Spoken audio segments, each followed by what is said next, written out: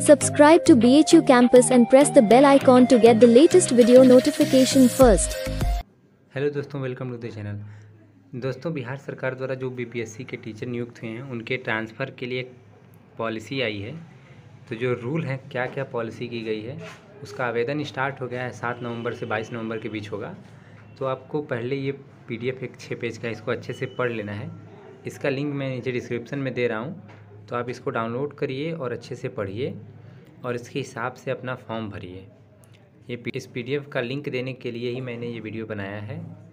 तो आप इसे नीचे डिस्क्रिप्शन से डायरेक्ट डाउनलोड कर सकते हैं। धन्यवाद।